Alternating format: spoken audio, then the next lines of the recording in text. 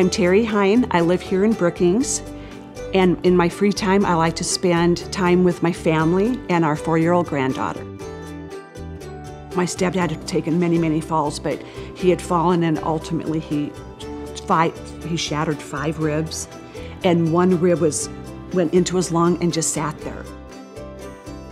I mean, those hospitalists, I can't believe that like every hospital doesn't have that. I was bummed when I first heard that they were going to have hospitalists and that you know their the regular doctors weren't wouldn't be coming over here.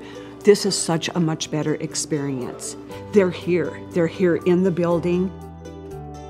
Stacy, I've had her before when I've been an inpatient, but she had just just come on duty, I think, and it was probably it was well, it was less than an hour when he passed away and I was holding him his arm and stuff when it happened.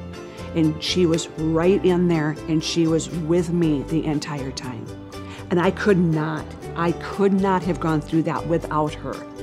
And I could not have gone through it probably without the night nurse. She was just as, you know, compassionate too. So, yeah, that was the best experience. I could hear this horrific noise.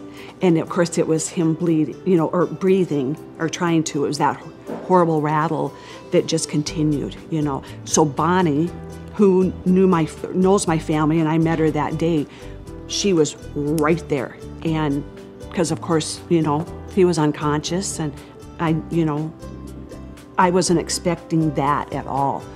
And then that booklet also that you guys have here I that she immediately, you know, after like probably about an hour or whatever, she gave that to me. I didn't look at it then, and but I did after, you know, it, we had left the hospital a, few days later. I read that, and it was, and I only it was like I think it's only like seven pages or so.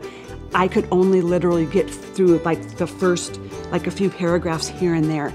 And then it was just like, my God, we have been watching this whole process for like three months, just, just like that book said. So that is the most phenomenal thing that I could have been given. Even though I didn't read it here, I had that for afterwards. So that answered a lot of my questions too. I knew it was happening. I knew it was going to be happening and I chose to stay.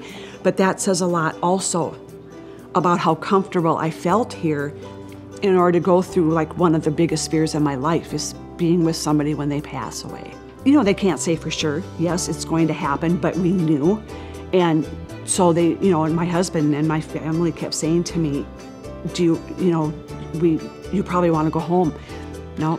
So my husband and I stayed here all night long, and then it happened that early that morning. But I would, I don't think I could have done it without knowing.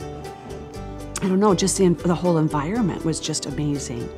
So, yeah, I faced one of my biggest fears. So I feel like he gave me a gift, but also this place did too.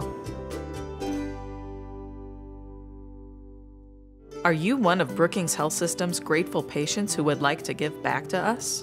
Learn more about how you can give back at brookingshealth.org/mythanks.